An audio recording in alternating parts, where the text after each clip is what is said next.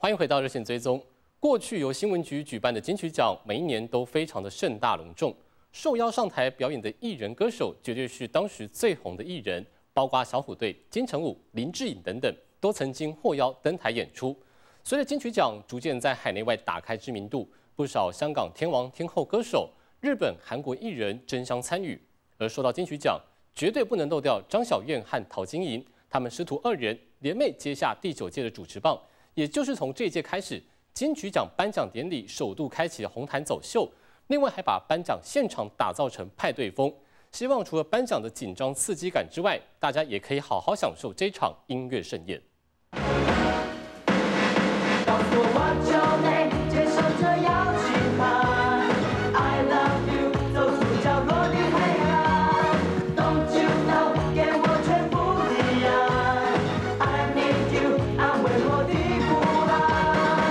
手红不红，从能否登上金曲奖舞台就能略知一二。一九八零、一九九零年代最红的偶像团体小虎队，好几年都是表演嘉宾。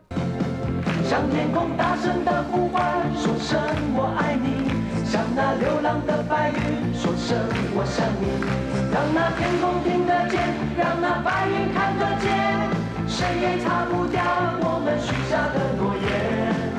这股金曲奖的偶像热歌劲舞旋风就此刮起。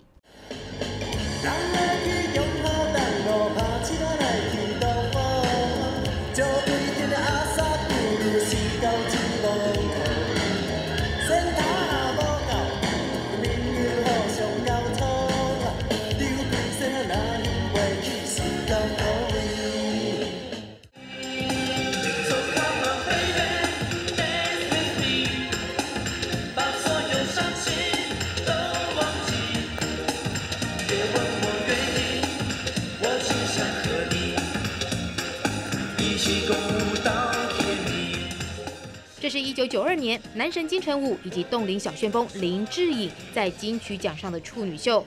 随着金曲奖逐渐打开知名度，香港歌手艺人也接力登场。如果说一切都是天意，一切都是命运，终究已注定。是否能再多，再多看一眼，伤会少一点？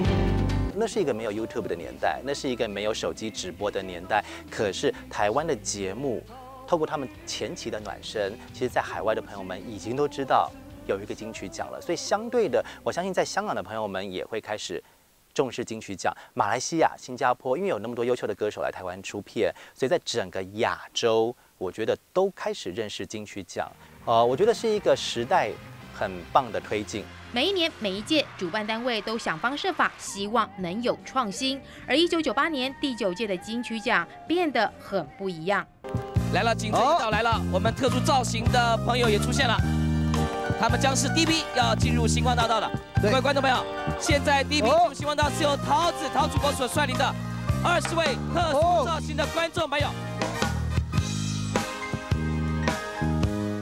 典礼现场第一次红毯走秀，颁奖晚会模式同样也从隆重风走向派对风。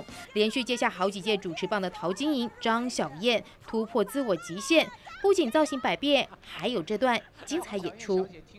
小燕姐来了。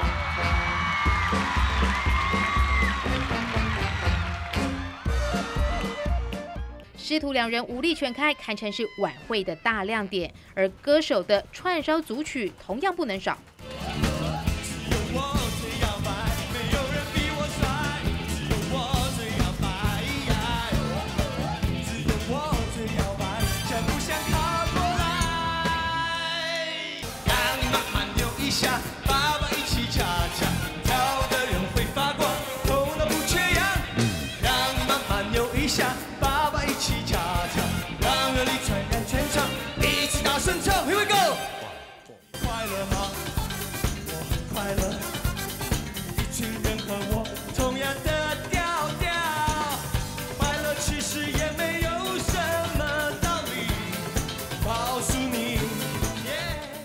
从第一届到现在，参与的艺人不止港台，包括东南亚、日本以及韩国当红偶像团体 Super Junior，也都曾经来台湾共襄盛举。